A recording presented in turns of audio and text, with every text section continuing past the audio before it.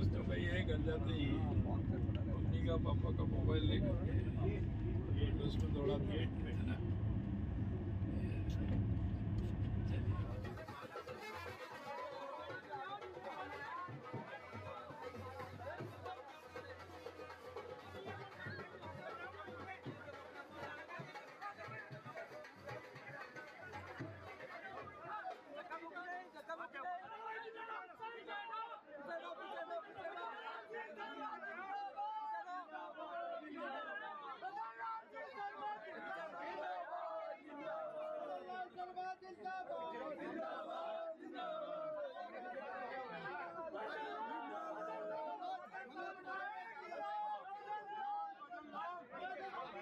अरे बंदे निर्मल जी